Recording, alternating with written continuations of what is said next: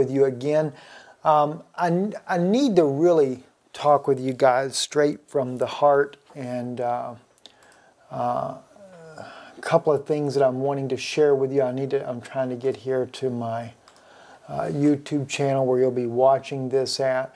Uh, a video that I did the other on, on, May 27th called God's Way of Revealing Himself has really brought a tremendous amount of controversy. Not so much from the main body of viewers, uh, but there were a couple of brothers that are dear to me that took offense to the video that I made. In fact, on this particular video, I had never before uh, made a video where I had taken and actually asked a couple of brothers to review it before releasing it, uh, mainly because I didn't want to cause an offense. Uh, so let me just state one thing before we get started here tonight. And by the way, what I'm going to be talking to you tonight, the this video here is only part of it. I'm actually going to take you into a teaching about the Holy Spirit and the fall in the Garden of Eden. I know it seems kind of awkward, the two of those together, but we're going to get into that very soon. And of course, this video here that I did the other day has a lot to do with the reason why I'm going into that subject as well. But let me just state for the, for the record here, uh, and I'm only going to, reason why I'm going to state the names here is because uh, in, in the comments that were posted on the video, uh, it was quite evident that it was Brother Matthew and Brother Chris uh, that I upset and uh, because both of these brothers are code searchers they, they research bible codes and you have to understand that at one time i was very very much favorable for bible codes and i still believe that god in some way or fashion has hidden things in the bible codes.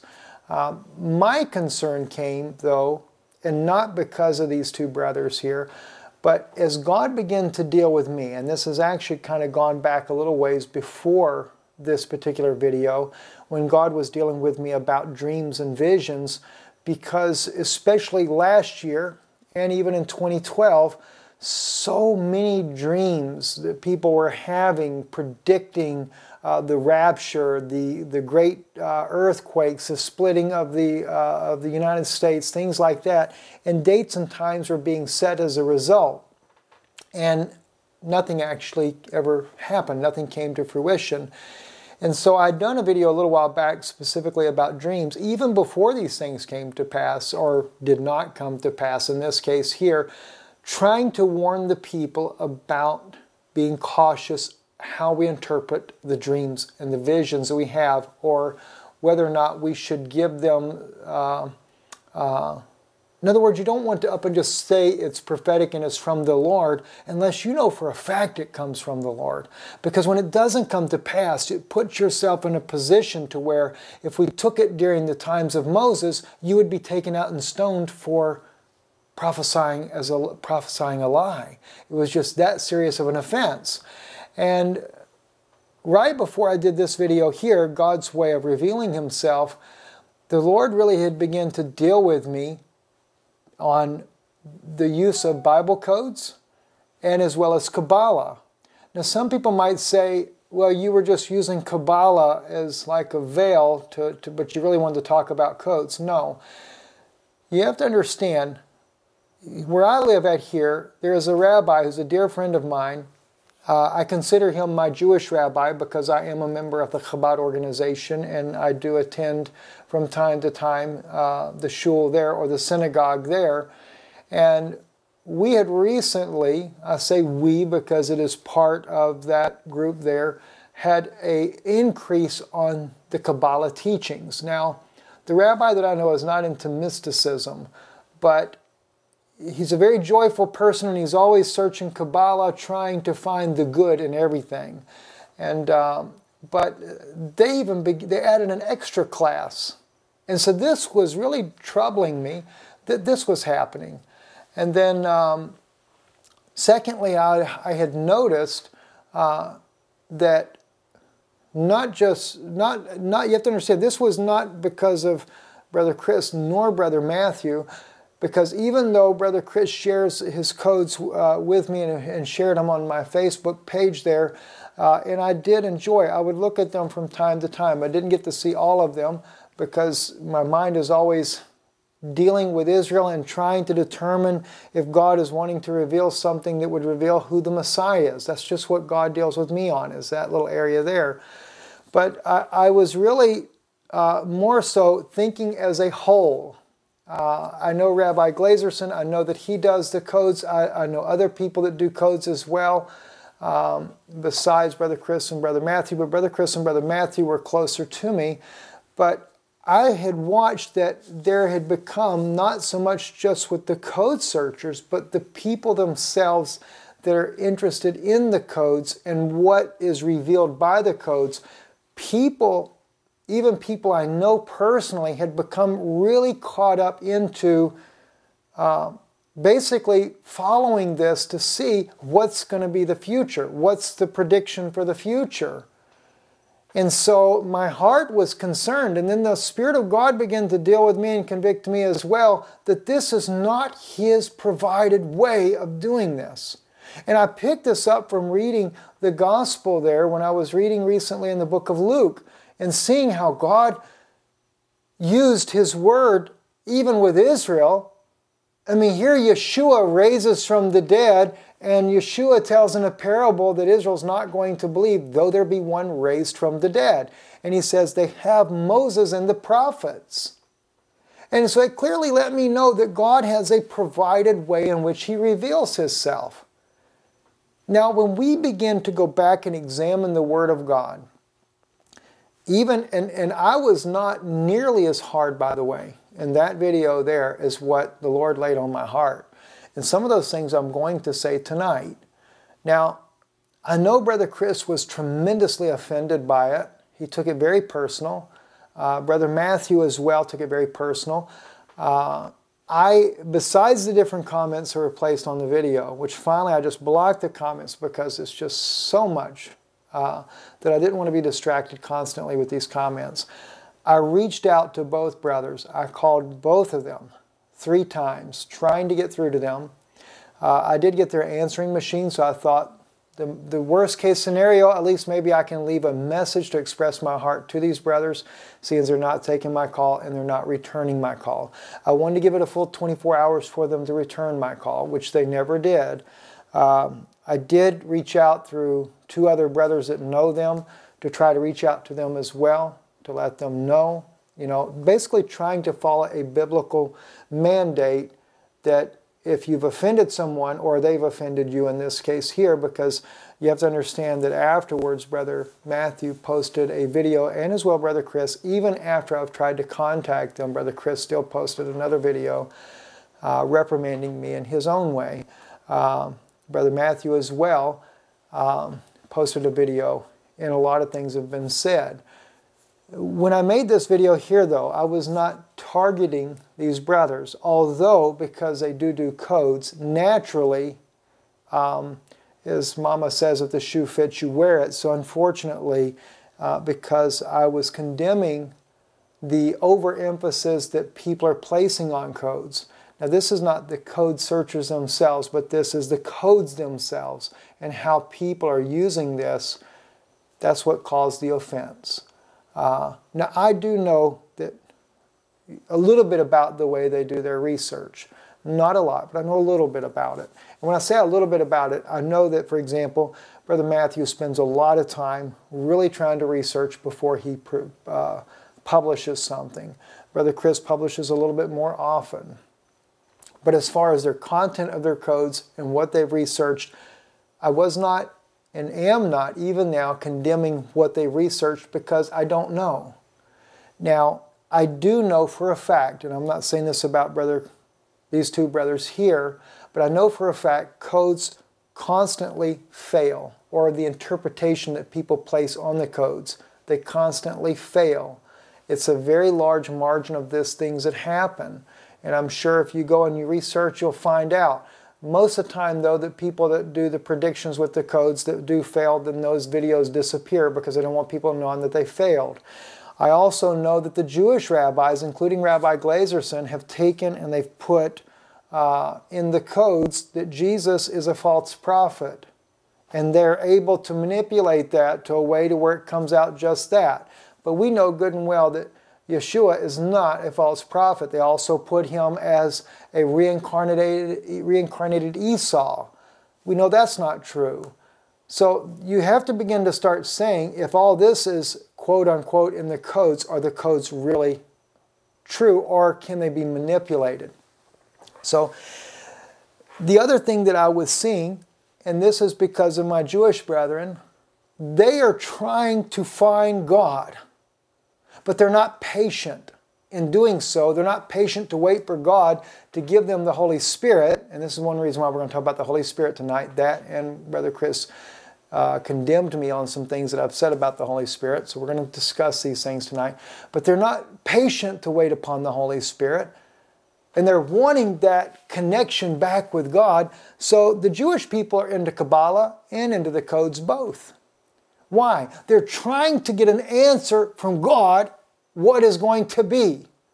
Now, I know that because of so much people are under they understand the, the mysticism in, in kabbalah so therefore people don't like the codes to be translated as the same but one thing we have to understand in the hebrew uh, language letters were the representations of numbers in, uh, originally all right and every number has a numeric value we might say Aleph is 1, Bet is 2, Gimel is 3, etc. It goes right on down and then goes into the large numbers 20, 30, 40, etc., 50, and on down. Now, there is a numeric value for each one of those letters. Now, when the Kabbalah started, a rabbi takes and he basically has assigned what the meaning is for the numeric value. And this is where everything went wrong. Because, see, there's no doubt that maybe God does have something hidden in a numeric value. But nowhere in the Torah does God give us the permission to try to go and figure that out. It's the same thing with the Bible codes. There is no doubt some great things may be woven and hidden in the Bible code. But the thing is, is he never authorized us to go find these things out.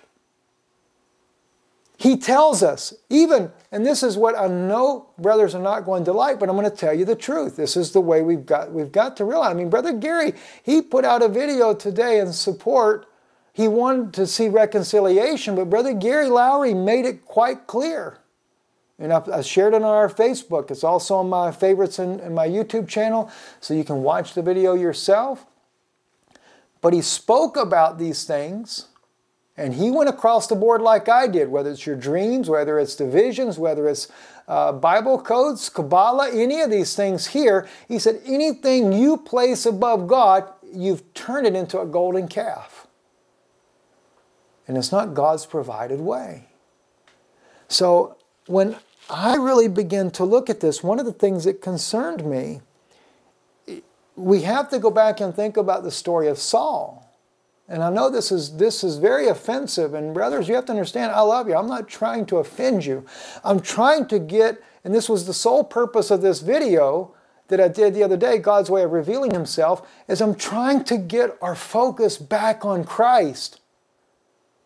Not on me, not on you, not on our, our the research or whatever we do, but to get our focus back on Christ. That's what this whole purpose is. You know, Saul was an anointed king of, of God, but he had backslid in his particular case. Now, I'm not saying you brothers are backslid. Please don't, don't interpret what I'm saying. All right? Even like, Brother Chris, I know you said that just because I put in the statement there, what is that? Israel more and more turned to Kabbalah and even the Bible because There is an answer, and it is because they don't have the Spirit of God leading them to know Him. And for him, Brother Chris said, I don't have to watch the video. It's just, you see what I'm saying? But you have to understand. Did God ever instruct us this? Now I know that you quote the you quote a scripture that says that God hideth the matter and it's, it's up to the kings to, to search it out. I can't say that that applies in this case at all, but I, I understand, I appreciate that. But when Saul he, he takes and he goes to the witch of Endor. Why? Because he doesn't get an answer from God. He even tells, I mean, the witch of Endor brings up Samuel the prophet. Doesn't, I mean, she was able to bring up the truth right there. She brought Samuel the prophet up. There's probably some people say it wasn't really Samuel. The Bible doesn't dispute the fact that she brought up Samuel the prophet. In fact, Samuel prophesies to Saul and says, You and your sons will be with me tomorrow. But he also says, because, because Samuel or Saul says to him, he says, you know, Samuel says, Why have you disturbed, disturbed me from my rest? And he says, Well, I can't get an answer from God. You know, he can't get the Urim and Thummim to answer. In other words, the Urim and Thummim, the, the, the Aaron's breastplate, if he says, you know, ask a question before the Lord, it doesn't have a supernatural, uh, um, where the stones light up. He said, the Lord doesn't speak to him in dreams nor in visions. The prophet doesn't have a word for him. So he's really, he's troubled in his heart and he's desperate to hear from God. So instead, he chooses to go to the Witch of Endor to try to find something out. Well, it's not to say, I mean, it was wrong to do it. You know, I'm not saying that going to the Bible code or to, to, to, to search out Bible codes is wrong. But what I'm trying to show you, though, is even in the case of Saul, there is a provided way, and he clearly had said he couldn't get the answer. So he chose a secondary means to try to get the answer. That's why even we're commanded not to use mediums or anything like that. You know, what like Brother Gary said in his video, God wants us to be in prayer. You know, He wants us to, to fast and to pray and to seek Him. God says, if you draw nigh to me, I will draw nigh to you. And I guarantee you that there's been times in my life that the more I drew nigh to Him and was reading my Bible and praying, then the supernatural would happen and He would foreshow things that would happen and they, every one would happen just right. Now, I can't say though that I've, I've had dreams before too, like you guys, and I, and I thought, gosh, this, I wonder if this is prophetic. But I've always tried to keep a balance and I've always been very cautious in saying anything about a dream. And if I did, I always tell the people, and this was before I ever began to speak publicly, I would say to the people, you know, look, I, I don't know. I just say it to you as a witness. Just like when I was criticized about praying for the rain in Israel. Do you know when I do stuff like that, I do make it a point to tell at least two witnesses that I did so and so. You know why? because I'm not interested in trying to be somebody. I'm just, I, I, knew in my heart, I prayed a simple prayer. I didn't know that God was going to answer the prayer. You know, I'm not, I'm not, I'm just asking a humble little thing. You know, Lord, the, the nature here needs rain. He didn't have to answer it. But beautifully he did, and I thank God for it. But I, I, get criticized for that. Now, let me let me just this go into something though that I, that's very serious though that was, and, and many of you guys may not even know this because I know you've not seen the videos that Brother Matthew did uh, or Brother Chris. I say videos. Only, Brother Matthew only did one video, um, but Brother Matthew had stated in one of the videos that I came to him uh, and I had told him that I believed that I was one of the two witnesses that's spoken of of Revelation. And I asked him to look, to search that out in the Bible codes. And I know that in the chats that they're doing privately and stuff, a lot of this is circulating around. Brother Gary made a very interesting comment to me. And I'm going to straighten out what was actually said so you'll know the truth about it. Because I hate to even have to bring this before you guys publicly to begin with. But it's important that I straighten out the slight of turn in what was said about me. But I'm going to straighten it out, and I guarantee you, I do have witnesses on this because there's only four people that I can tell you about that I've shared uh, these private things that know me that you guys would possibly know as well. When I first met Brother Matthew, I did share with him in confidence several things that had happened to me in life that made me wonder what God had called me for.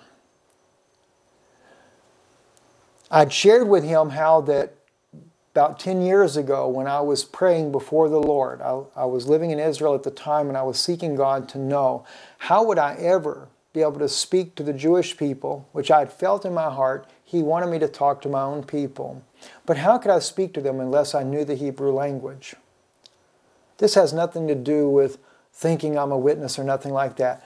I wanted to be, I wanted to testify to the Jewish people because they are my kindred. I have DNA tests that proves all of that. I have DNA tests that shows that I'm actually from the Levite family. I thought it was just the tribe of Ephraim, but I'm from the Levite family as well. I never knew that. But the thing was is I wanted to be able to speak to them in the Hebrew language. And I had studied Hebrew for years, but I have a trouble with dyslexia, so therefore I have a struggle with learning and perfecting in a, in a, foreign language. And so in prayer, I had gone before the Lord after years of praying about this. And I said, Lord, I don't know how to speak. I can't get this. What do I would, can you show me something that will help me to know that you're going to help me with this language? And I said, God, I hate to open a Bible and just look to see an answer for that. I said, but God, I'm desperate to hear from, hear from you because you're just not answering me and I don't understand. And so I took it. I said, God, I'm going to open the Bible and would you show me an answer that would speak to my heart? And when I did, I opened up into the book of Exodus and my finger, I put my finger down. And then as I opened my eyes, and I hate doing that, I think that's wrong to do that, but I was just desperate to hear from God.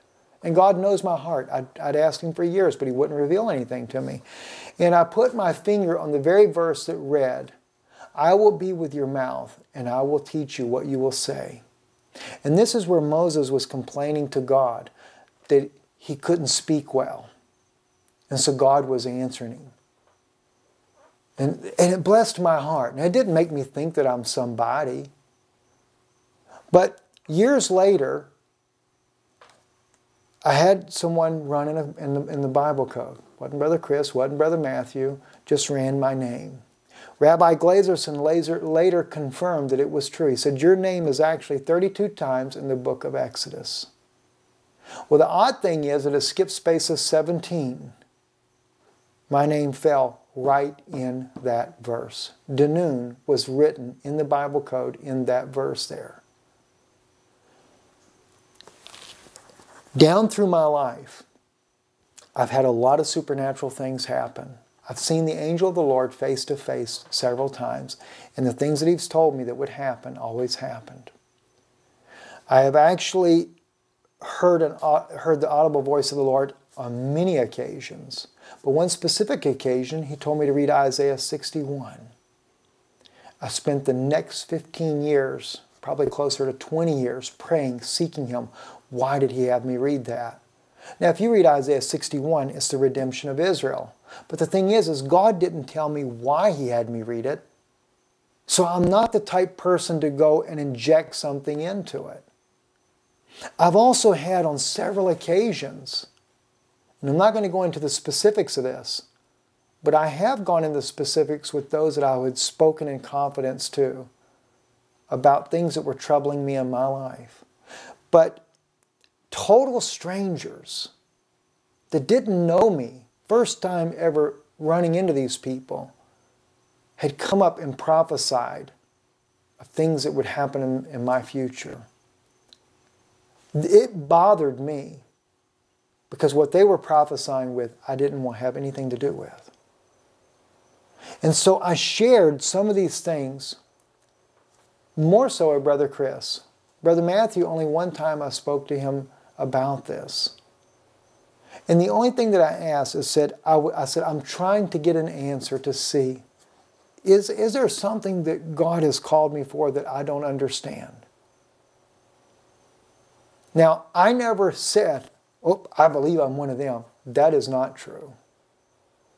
But I have said, if there is a possibility that this is what He's called me for, I'd like to try to know. Now, Brother Chris was the one that actually ran most of the codes. And of course, one, and you can see part of that here, was the one that struck the most.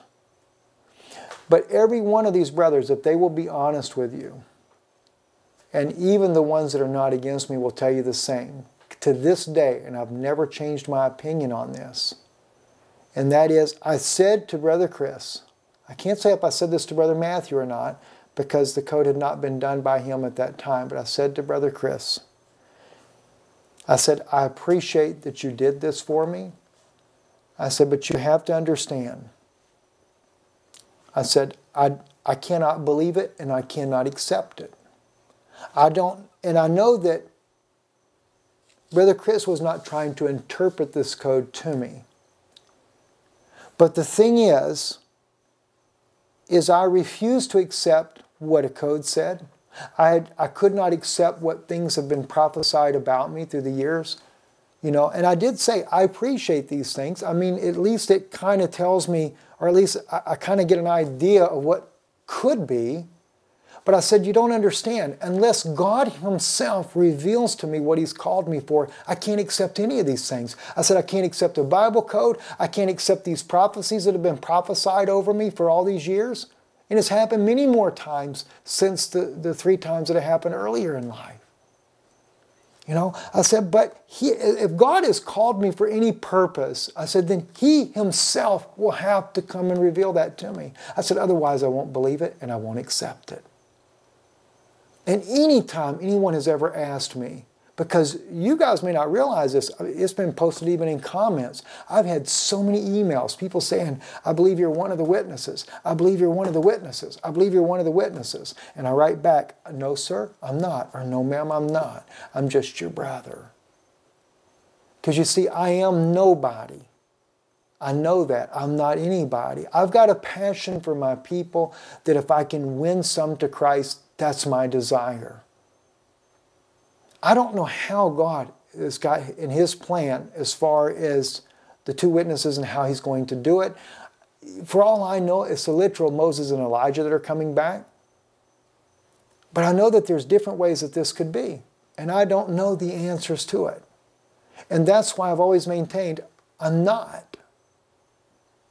But the sad thing is, though, is it's been made to look like now, from this video now that's circulating on the internet, that I am puffed up in my mind and I have let this go to my head and I am trying to declare to the world that I'm one of the witnesses. And that is the furthest from the truth. And anyone, you could talk to Brother Jason Egroff, Brother Gary Lowry, they would confirm it. If Brother Chris and Brother Matthew, which, I, like I said, I didn't discuss this enough with Brother Matthew. We really only talked one time personally.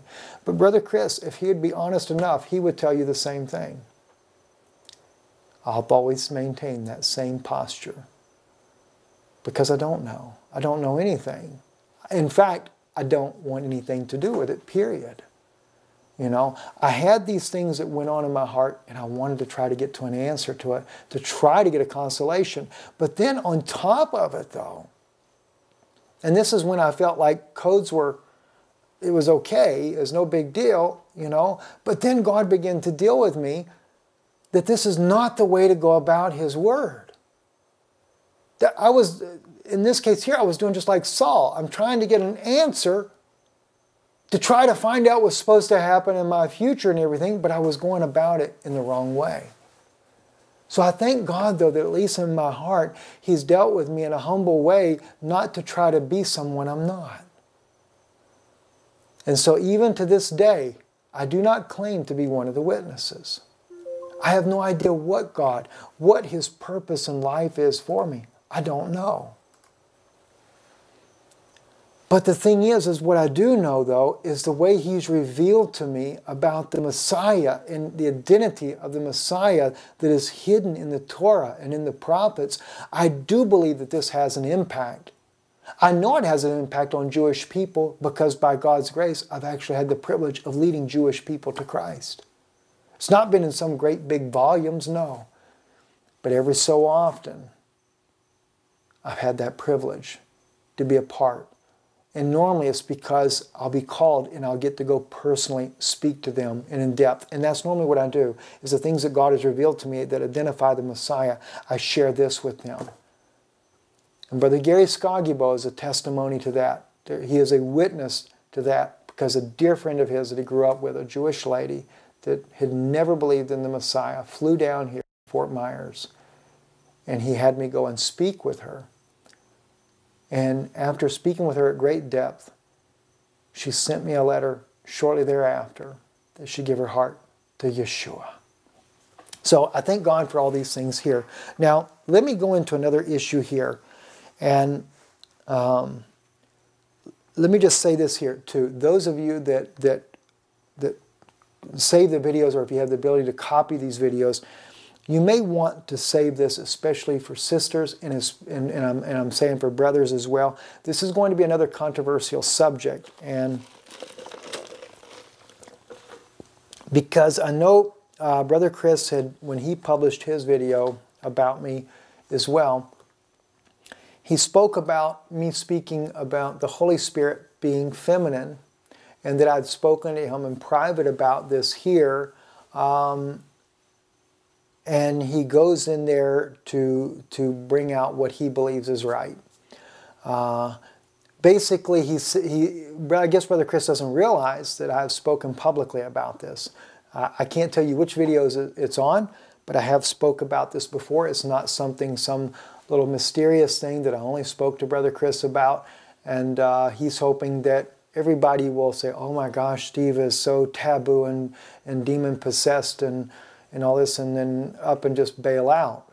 Um, so we're going to go into that. And what we have to do, though, in order to be able to bring this out, is we're going to look at Genesis and we're going to look at the fall in the garden as well as the creation uh, to bring out uh, some of these truths here. And I think it's very important because what happens, and this is one of the reasons why you never see much mentioned about uh, the Hebrew word ruach, which is the word for spirit uh, that there, the word ruach to begin with is a feminine word.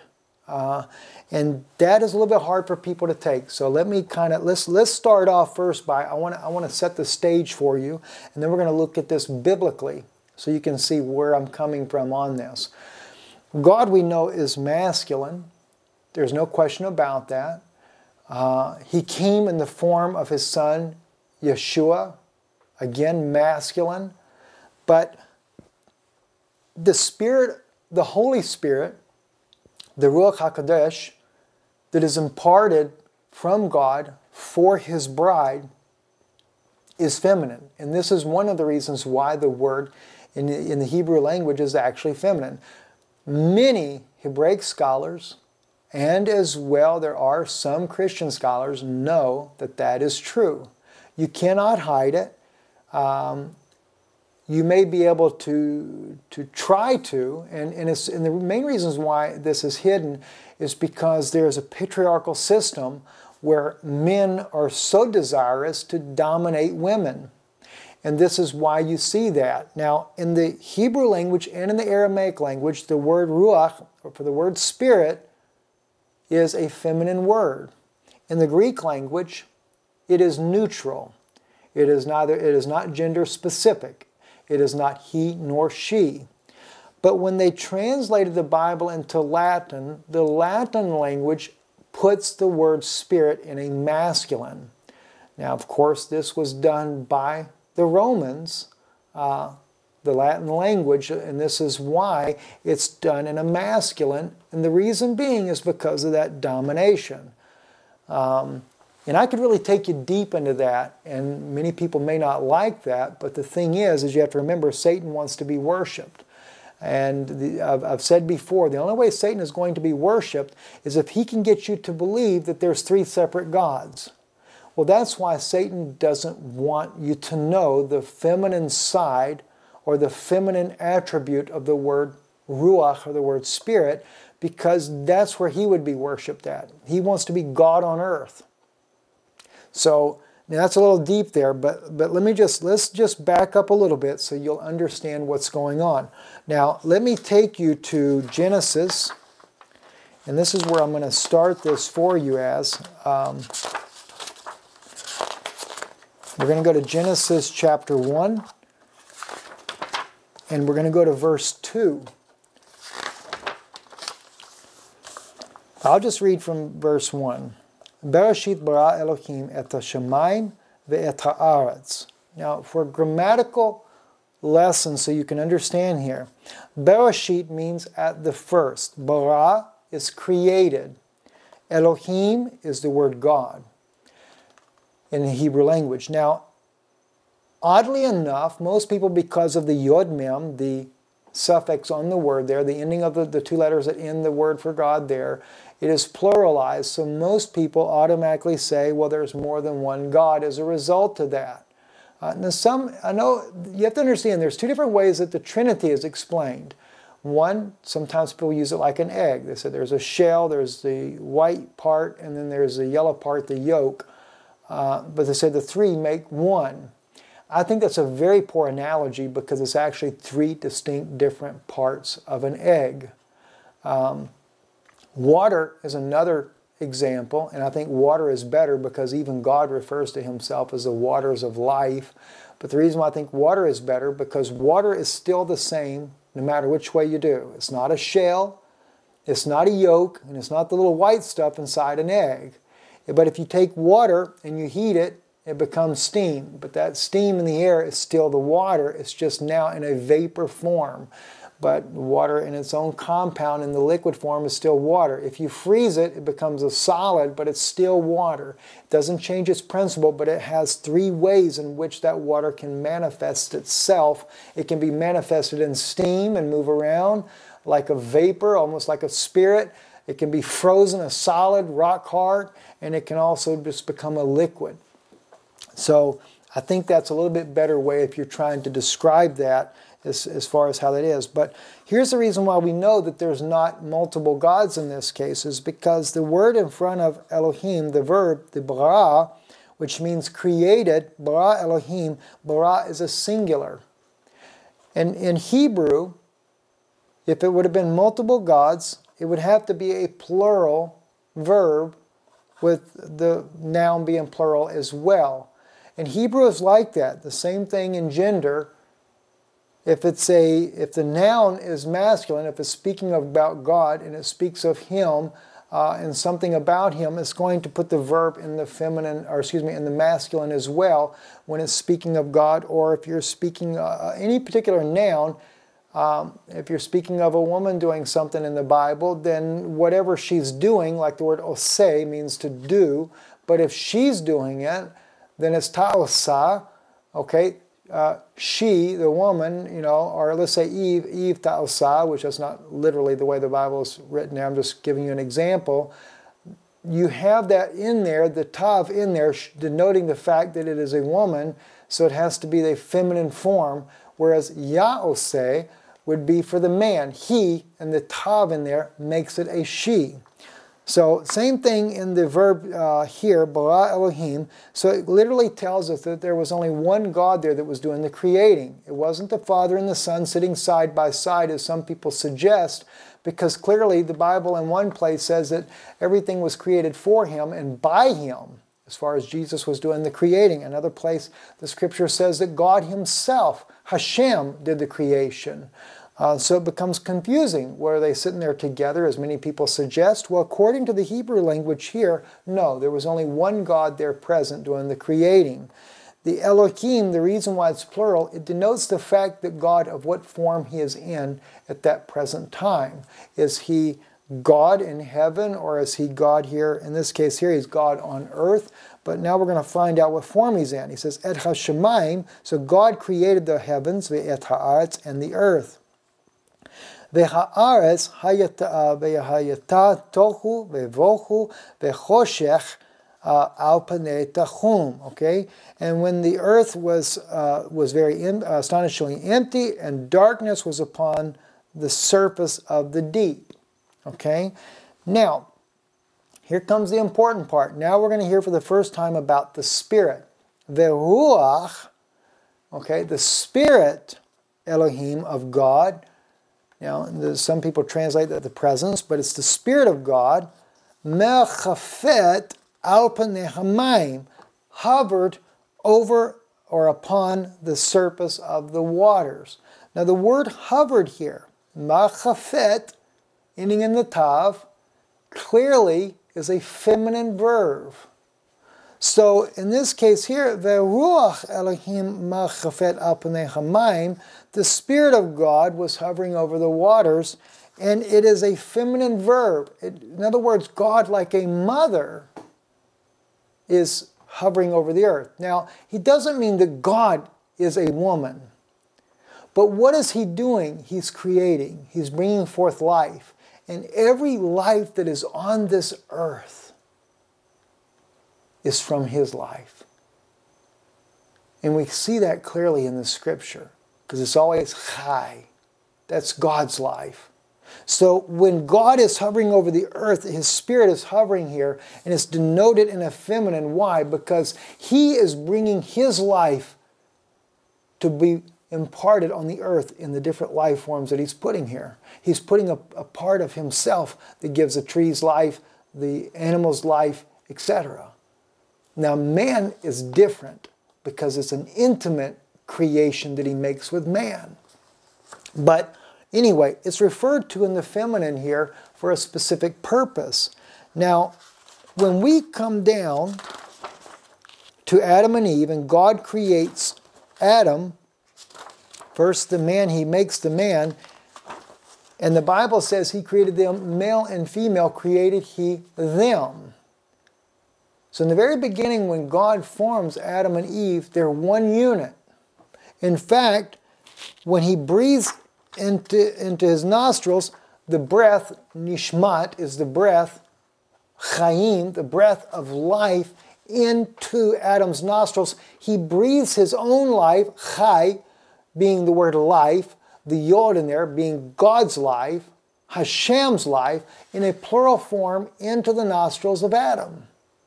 The nishmat is the word breath. God breathes that his breath of his life into the nostrils of that clay figure that he has made. And he does it in a plural form. Why? Because Eve is part of that creation already. And God knows that she's in there, so therefore he breathes it thus. Now, his spirit is the ruach that he places inside of Adam and Eve. That's what he's putting inside of them is his own spirit.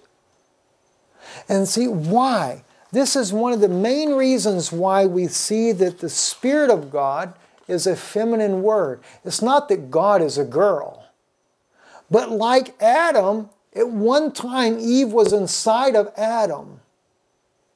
And God taken Eve from the man. Min ish, the, script, the, the, the Hebrew language says. The scripture says, God taken uh, isha, min ish, from the man, or in this case, as I've mentioned to you before, the word ish literally is two compounded words, ish and in the middle of the word Aish, Aleph, Yod, Shin is the Yod, which is the first letter of the divine name of God. So we know that it is the fire of God or the Ruach. It is the Holy Spirit that is within side of this man. And he takes Isha out of Shin He, that's how you spell her name, Isha from the Ish, from the Spirit of God, basically, is the way you would look at that, from there. The feminine, in fact, what's interesting, the Isha is the feminine attribute that's inside, and maybe the word attribute is not a good word, but in other words, the feminine life of God that was inside of Adam is brought out to make Eve. Now, we, we see nowhere in Scripture where God has to nishmat, breathe, chayim, or chai, into Eve's nostrils. Why? She's already filled with the Spirit of God. So there's no need for this. Now, the tree of life, the Eitz Chaim, was in the garden so that when the children of Adam and Eve would be born, they would be able to partake of the tree of life and live. Now, they, we do know for a fact, though, it's interesting because God does make the statement later when he has to put the cherubims there to guard the way of the tree of life. He said, Lest they put forth their hand and take and live forever. But originally there was no partaking, God was giving. So the tree of life was something that God gave out, it wasn't something that you went and got on your own. But we know in the story here, though, a fall comes. And this is something that's important as well, especially when we're dealing with the Spirit of God, uh, the Ruach. And so I want to deal with this issue a little bit. And sisters, I think this will be a blessing for you. Um, and brethren, it may be something that you may to really seriously need to prayerfully look at uh, because women have been put down for far too long. And I'm afraid this is one of the reasons why. And, and let me say this here too.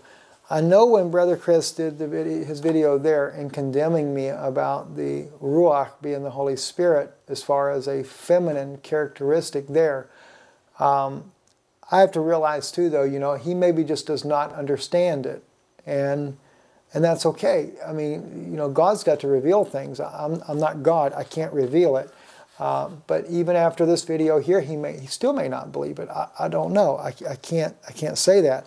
Uh, I don't think God's going to condemn you if you if you don't see this. But I think though you will find that when you hear the whole matter of this, it will also better help you to understand God's way of doing things. And because what we're talking about when we're talking about the Holy Spirit, this is redemption. This is the way God is restoring man in his relationship back to God. This is the whole reason for the video the other day, God's way, God's way of revealing himself, because God desires to have a one-on-one relationship with us. His relationship that he wants. The Bible does not the Bible say that in the last days I will make myself known to them in dreams and visions. Your young men shall see dreams, and your, or, or maybe I got this wrong, the old men shall see dreams, and your young men shall have visions. And upon my handmaidens I will pour out my spirit. You see what I'm saying? This is God's provided way. But we're not seeking God for His way of making these things known. And a lot of it has to do with just scrupled up theology. And so I want to try to help straighten some of this out for you. When the fall takes place, let me just share with you a little bit here. Um, okay, here. The Yomed uh, Hashem Elohim, and, and God, He says, um, La'isha, mazot asit v'to'amar ha'isha, uh, to the woman, uh, what is this that you have done? And the woman said, Betoma Haisha, and the woman said, Hanachash, Hasiani ve'ochel. He deceived me, and I, and I did eat. Ve'yomer Adonai Elohim el Hanachash. And the Lord God says to the serpent, asit zot arur, ata makol uh, excuse me, Habachaima. See, he says, because you have done this, you're, you're cursed. You're cursed uh, more than the cattle. Umekal chayat, and, and then any beast, uh, hasadea al ha, uh, chanecha, uh, more of any of the beasts of the field, and upon your belly, uh, talecha apra ta'achel, and dust shall you eat. Kol uh, yamim chayacha, all the days of your life. Now, uh, rather than reading every single little thing to you in Hebrew, let me move forward a little bit faster for you here. Then he says, uh, enmity shall I put between you and between the woman. Now, the word enmity which is uh, Ava, is hatred. It, God is putting hatred. He says, enmity shall I put between you and between the woman, and between your offspring and between her offspring. So God is establishing he's, you know, he, and it's not so much that God is, this is not that God is ordaining something. God is now prophesying of the events that are going to unfold. God says that there's going to be hatred between the woman and the serpent. Now, it's interesting that there's going to be hatred between the woman and the serpent because God hates the serpent as well, or Satan in this case here, because we know it was Satan that got into the serpent and caused all these evils to happen. But he says he's going to put hatred or enmity between him and the woman, and between her offspring, uh, between the serpent's offspring, your offspring, and between her offspring or her seed. Actually, the words it's zara, seed. Uvein zara, zaracha, uvein zara. Okay, between your seed and her seed. So now he's prophesying of the coming of the Messiah. Now notice, you know, it's funny. You remember how the Bible says about Israel? It says, uh, there's one place in there where it says, uh, your enemies will be my, or no, no, I'm sorry. Uh, I'm thinking of Ruth, actually. Ruth is speaking to, to Naomi, and she says, your God will be my God, you know. Where you live, I will live. Where you die, I will die. There's other places we see in the scriptures, your enemies will be my enemies. So when God says to Eve, or he's speaking to the serpent here, that he'll put hatred between the serpent and her, she becomes an enemy of the devil. Well, she, in other words, she's on the same side as God. God's an enemy of the devil as well. Then he says that she's going to have a child.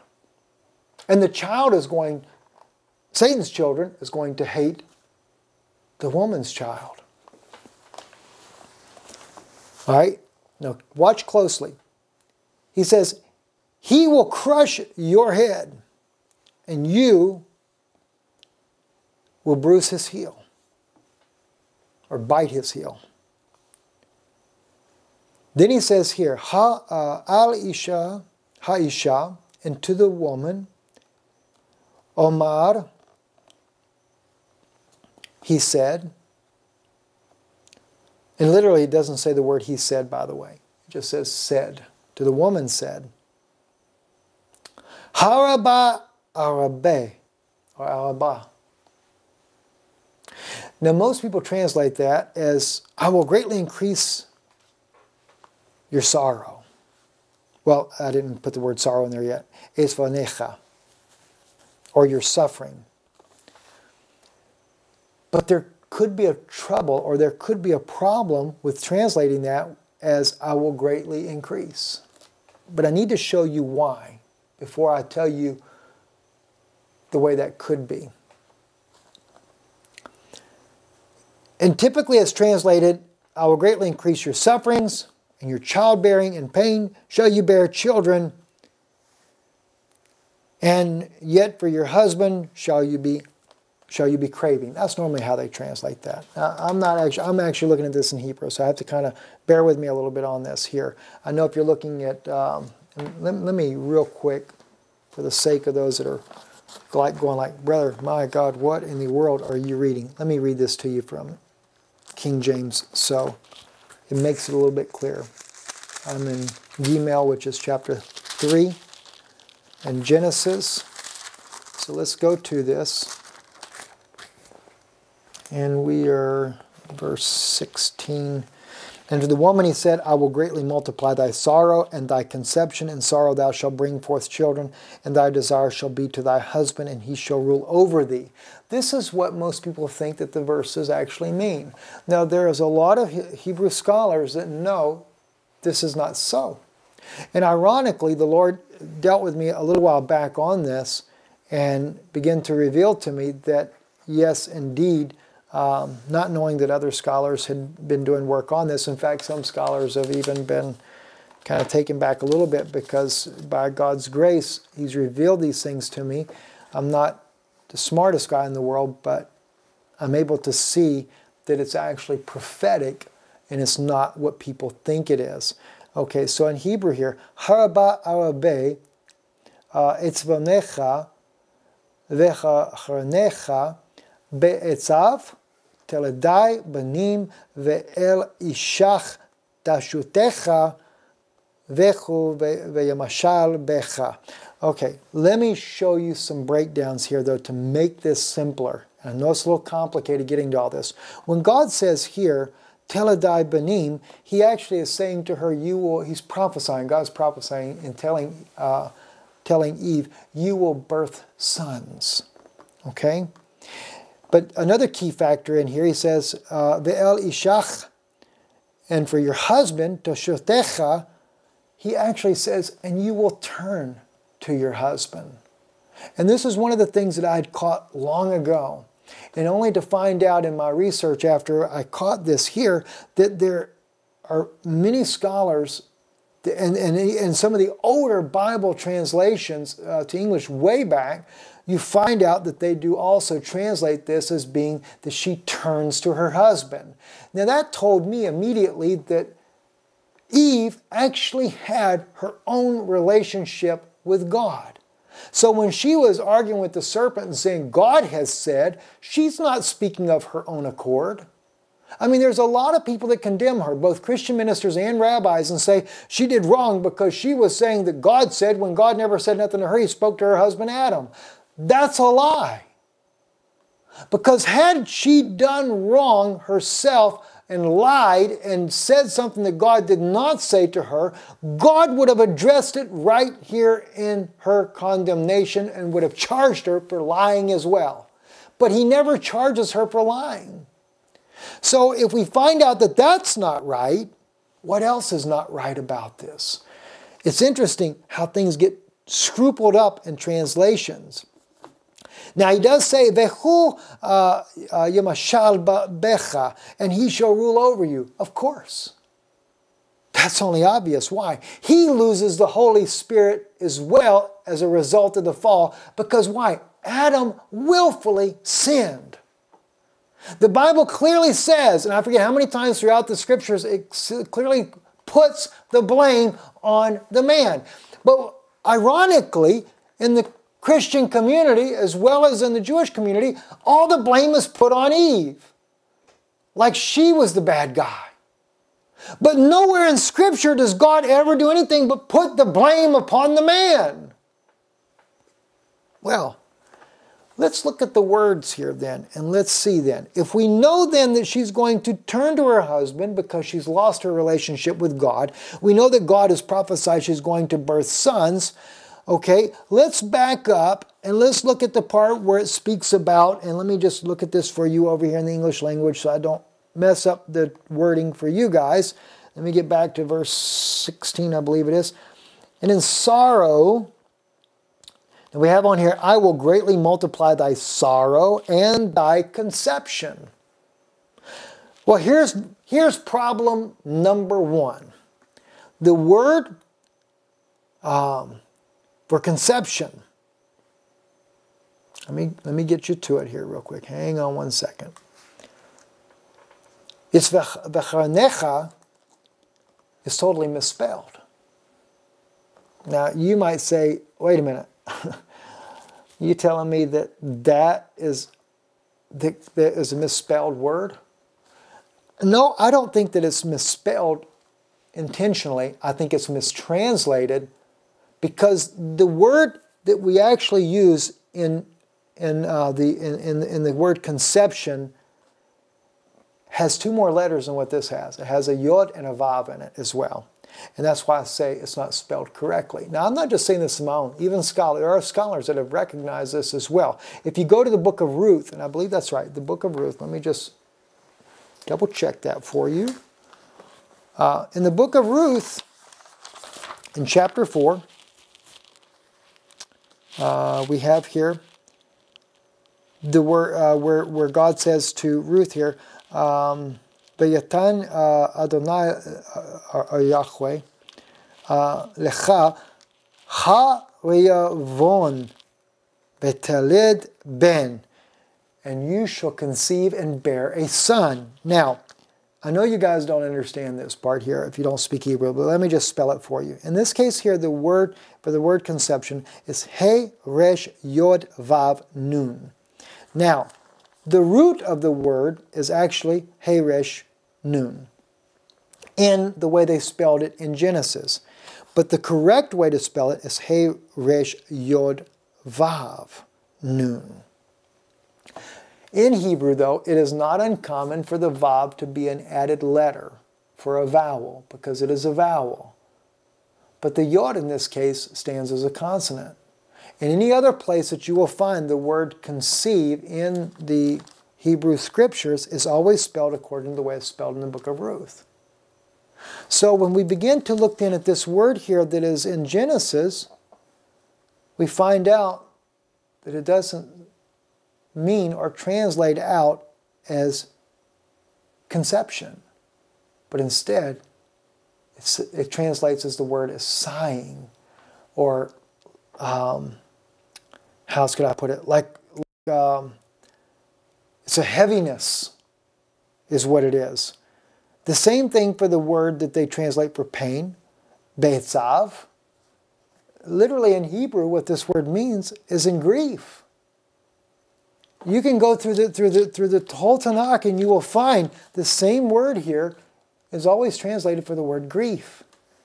So if in this case here, now, and I'm breaking this down slowly for you so it'll make sense for you. So let's go back to the English version here, version for you. And to the woman he said, I will greatly multiply thy sorrow, and in thy what?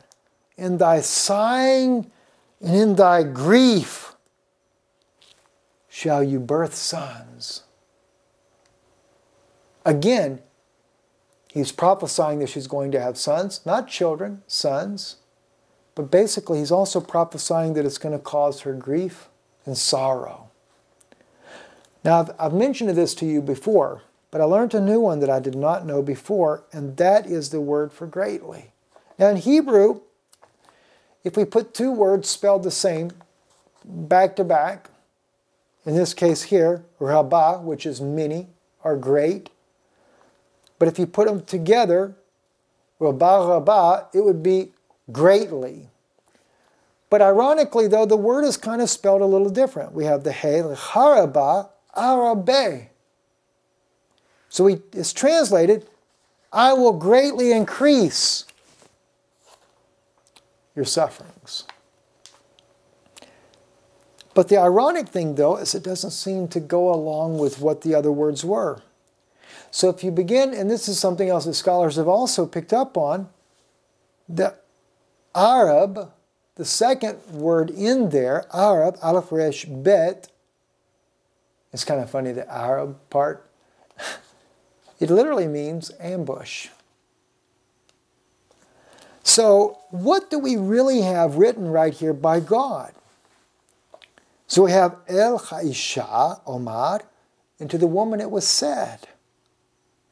The one who, eh, the, the, the one, the, the great the great ambusher, will cause you great suffering and sighing and in great pain of the birthing of your sons. Probably the best way, and I wrote this down from where scholars have written this as well, and this is the way they translate it themselves. I'm just kind of translating it from you from a literal standpoint. And to the woman he said, A snare hath increased thy sorrow and you shall bring forth sons. So we get a completely different picture of what happens to Eve. And as I also said to you, she turns to her husband. Why? Because she loses the spirit of God that she once had. Now, uh, which that reminds me, I still have we still got to get back to another issue here in a minute about the Holy Spirit. So the thing is, is the Holy Spirit is lost, and redemption has got to set in motion. God has got to redeem His creation because now His creation is lost. And so God goes to work upon that. Now, I was sharing with a brother on the phone here about the Holy Spirit when I was being criticized for making the statement about the Holy Spirit being feminish. And as I said to you, both in the Hebraic language as well as the uh, Arabic language, the word ruach is a feminine word. Okay? Now, we know God is masculine. I'm not trying to say that God is not masculine. Uh, a lot of times we look at, we say the Holy Ghost, and, and, I know that people say, well, the Holy Ghost, He's the one that comes and, and does the comforting of us. There again, you're beginning to break and you're beginning to have three different gods when you're doing this. You're putting God as one God, Yeshua as another God, and the Holy Spirit as another God. The Holy Spirit is what God brought to impart into us. When Yeshua said, I will not leave you comfortless, but I will come and I will abide with you even in you, that's where He's able to restore the life of God within inside of us. You see, if it makes sense to say it like this here, Eve was inside of Adam, and God taken Eve outside of Adam so Adam could have fellowship with his wife. She was the feminine part now, it didn't make Adam feminine, but when they were together, there was a feminine characteristic or a feminine quality that was inside of Adam. But not just a quality, it was his wife was in there. She wasn't just a quality, she was his wife that needed to be separated from him in order for them to have the right type of union so that they could be in love with each other. When Yeshua come on the earth, he was the masculine, he was God himself in a human body. But inside of him was the Holy Ghost, the very Spirit of God that he could impart upon each one of us. And that Spirit, that Ruach HaKodesh, was able to come inside of us when he died and that Spirit of God was released, it was inside of him, so that it could come upon us so that we could have a connection to him. You see, Adam, I mean, excuse me, Yeshua is the second Adam. No wonder why everything that happens to Yeshua is just like it was with Adam.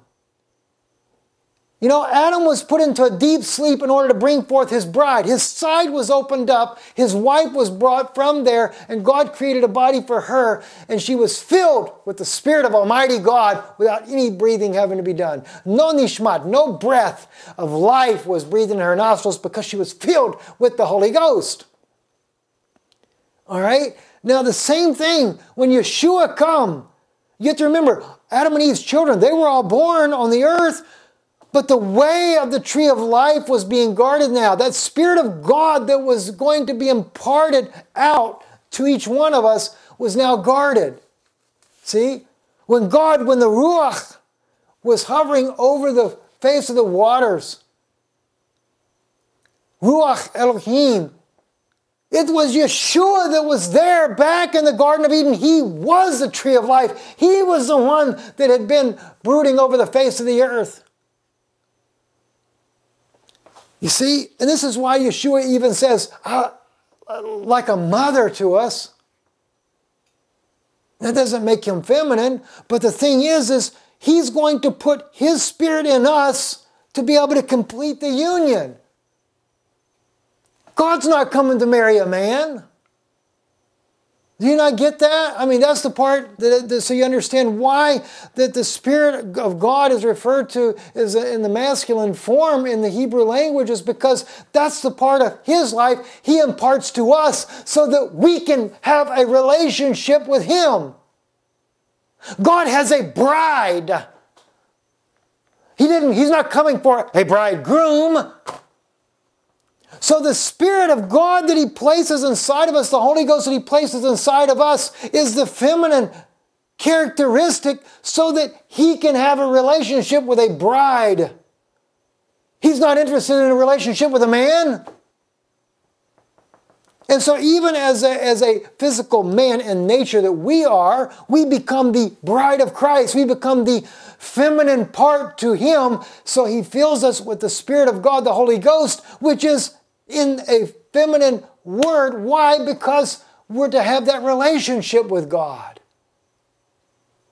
Now, I'll show you in a prophecy written in the book of Job to prove it to be so. You don't get it in English because in the English language it don't give it out in gender. Job chapter 33. And by the way, this is not just in the book of Job. There's many places. I chose Job because Job is prophetic. It's a prophetic book. So I chose Job here. But many times, now there are places, don't get me wrong, there are places where the Spirit, the Ruach, has, um, uh, it'll have a verb or an adverb that is in the masculine. And every time you see it there, it's because it's referring to God in spirit form himself. And that's what I want to make sure you don't, you don't misunderstand. I'm not saying that, the, that God's, God, Him as a spirit, is feminine. No, I don't say that at all. I'm talking about the portion of His life that He's imparting to come upon us. That part is feminine.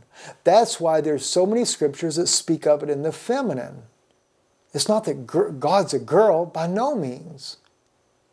But the thing is, while man has been in a fallen state, he's had the Spirit with him until he imparted it on Calvary to come back upon us. But there are scriptures also that speak of the Ruach in a masculine form. Why? Because the Spirit, God Himself, is a spirit, and in that case, it is a masculine. But the part of the Ruach that comes upon his bride that he imparts to us, that is feminine. All right, let me prove to you this in uh, Job chapter 33. Let me back up to verse 1. However, I beg you, Job, listen to my words, give ear to my statements. Behold, I have opened my mouth now. My tongue speaks with uh, excuse me, speaks with my palate. My pronouncement expresses the uprightness of my heart, and the knowledge of my lips speaks clearly. The Spirit have, uh, of God has made me, and a soul from the Almighty gives me life. Now, for the English reader, it don't make a bit of sense to you as far as gender. Let me read it to you the way it should be translated from the Hebrew language. Okay, the Spirit of God has made me. Ruach el asateni. See, the Spirit of God, she has made me. Aleph Shin Tav. The Tav clearly denotes a feminine quality. See? Why? What, what makes us? It's not that God Himself is the masculine, but He's making this, this man how? It's because of the, the feminine attribute from God that He used to make the man. That's why the she part is in there. It's not that God is feminine. It's the fact that he's creating this person to be filled with the Holy Ghost. And that's why the Osateni it's got the tav in there. It's not, it's not, it's not written in a masculine. Watch what it next. U nishmat. And he breathed. Uh, Shaddai. See? He breathes a soul. Ta chayni, tachayni. Again, the tav, the first letter in there, which is in the future tense. But literally, the tav means she, or in this case, her life in me. You understand what he's saying here? This uh, it's a little deep to say it because it's not that God is feminine, but he's prophesying about the fact that God See, a soul from the Almighty gives me life. This is literally prophesying of the fact that Yeshua will come and impart eternal life by allowing His Spirit, see, to come back upon them. But that part of the Spirit that's imparted is feminish. Why? Because God's not coming to marry a man. God's not interested in putting in you a masculine spirit of God. God's not like that. This is why He has in life the man and the woman the type of marriage. Because the man types God as far as the masculine side, and the wife types the feminine side, and the union is complete. But if you put two men together, you got perversion, you got homosexualism. God is coming for a bride. And that's why the Spirit of God that dwells within us is the feminine part. He's coming to marry us, and He's completed that union by imparting the Holy Ghost upon us. But yes, God also is a spirit. And when it comes to God Himself being a spirit, that part is masculine. And I would agree with that. That's because He's God. But the part of His spirit that He imparts into us, that part is feminine. And this is why you see it written in the Word of God that way. Now, we don't, it's not translated that way, you know, and probably a lot to do because it would, you know, maybe it would stumble people to, to say, well, wow, gosh, what do you mean? What is this all about? No, because this is not about worshiping some goddess. No, it has nothing to do with that. This is the part of life that God is putting into you so that you can have a relationship with Him. Because why? He wants a wife. He's come because He's in love with us. And so, therefore, He put in us the feminine quality of His own life, the life that He created for us. You understand what I'm saying now? I'm not talking about when the Bible refers to God Himself in spirit form dealing with us as children or something like that. That's God. That's why. That's why there's many scriptures to to speak of that in a masculine form. But see, God doesn't make a mistake in His Word. This is the original language, is the way He wrote that. But anyway, I think it's important that you know these things too, because so many times women get the short end of the stick. I hope that don't sound wrong, but they do. They're belittled, and yet Eve had a relationship with God. Let me just share with this with you in closing so it'll make sense to you. Do you know Yeshua came to fix the problem that Adam created? He had to give his life in order for the life of God to be imparted once again. See, Adam had done right in the beginning when he allowed God to put him into a deep sleep and bring forth his bride, filled with the Spirit of God. But then they sinned. Eve was only deceived.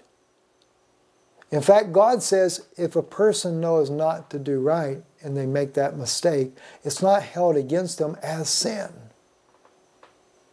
Adam knowingly did what he did, and so therefore God holds him responsible. And that's why we see this in Scripture. We also find, though, that God was going to use a woman, according to this prophecy right here, to bring forth the promised son. Really, the one mistake that Eve made was she doubted God's word. So, somewhere along the way, God had to have a woman that would believe his word unconditionally. That's what Mary did. In fact, what Mary did when she believed God's word, it brought forth a child in her womb and it set in motion redemption. Her actions totally, it, it restored the mistake that Eve made. Now, it doesn't restore the life. But see, the actions that Eve did, Eve doubted God's word, and that's what brought forth her being attacked by Satan the way he did. And in her doubt of God's word, the attack came and sin came. But God had to fix the problem. So he was looking for a woman that would believe his word and not doubt his word. And once he found one that would do that, which it was Mary, when she believed unconditionally, he was able to get the process of redemption going again. And he was able to place in her the promised seed. But in the case of Adam, there was no way a man could lay down his life and raise it up again. So there was no man on this earth that could fulfill the great horrible sin that Adam committed himself. Only God Himself could fix that problem. So God become our salvation. As the scripture clearly says in Isaiah 43, God has become our salvation. And so God Himself became a man and then gave His life in order for the Holy Spirit to be released. This is what this is all about. It's about redemption. I trust this has been a blessing for you. Um, in closing, let me just say this as well. To Brother Chris and Brother Matthew, I trust that you'll understand why I said the things that I did. And also understand, at one time, I felt that codes were, was not a big deal to do or be a part of. And I'm not saying that you guys have to stop or that I have some biblical mandate that you should not do it. I'm not saying that at all. But I really feel in my heart that the Lord is not pleased with the way these things are being done. And I think the way that the reaction came to the video I made kind of attests to that as well. And I know there's a lot of things being said privately as well in the background that attest to that as well. When we do something, if it's of God, it should not cause anger and bitterness. And this is one reason why I've not been angry. I've not been angry a bit in the world, although the videos that were made about me afterwards. Because to me, I realize you're, you're my brother still. Both of you are. And I don't believe that it was you that, that, that would speak the way that it's been spoken against me. I believe that that was just Satan coming in, uh, you know, to do his damage. I trust, though, that somehow that God will reveal to your heart that my intention is merely to get people's focus on Christ and that we look to the ways that He promised that He was going to reveal Himself to us in these last days. And even for those that do dreams and visions that people have, check them with the Word of God. If it appears to be prophetic, be sure before we say that it's so, that it is so. If you guys only knew how many that do not come to pass, you'd understand why I say that this is so serious. We're living in too late of an hour, guys. Too late of an hour. I do love you guys. We're moving forward now. The Lord has been dealing with me about the book of Daniel that will just blow your mind away. Totally, completely different than I've ever thought about before. Um, you're going to see, uh, by God's grace, I hope to do a video tomorrow night on it. And by the way, the, the, the Pope's trip, that was another thing I kind of got kicked around about too. I never said that I was going to do a video about some kind of great mysteries about the Pope. The only thing I've said about the Pope was I wanted to update the people about the events that happened. I know everybody has already updated the world about it, about the things that happened on the Pope's trip. I'm not trying to prophesy anything about the Pope's trip. I just wanted to kind of update you on things the way we've seen it as far as in the newscast and things that he said. Uh, we will still do that. Unfortunately, we got distracted with all this nonsense over these videos, over this video, uh, and the subsequent videos that came out afterwards. But um, my desire is to get right back into the Word tomorrow. I really want to share with you guys the things the Lord has been revealing to my heart about Daniel. Uh, again, like David being a type of Mashiach. Uh, uh, Joseph being a type of Mashiach, the Messiah, Yeshua, that is. Uh, now God is revealing in my heart how that Daniel's life incredibly prophesies of the Messiah uh, in ways I'd never thought about before. So I know it'll be a blessing for you, and I ask you to pray for me, pray for my family here, um, and we thank you. We thank you for all that you guys do for us, uh, the support that you guys give to this ministry. We thank you for that as well. And I think you know from watching these videos here, uh, I try not to say anything that's going to tickle your ears. I realize I sometimes hurt people I don't mean to. But I have to say what I believe that God wants me to say. And I think the last couple of days I've felt a lot like Jeremiah. So, uh, because I've not been liked very much for the things that I've said. But I do love you guys, and uh, I trust that God will cause things to work out for His glory. And know one thing I'm your brother.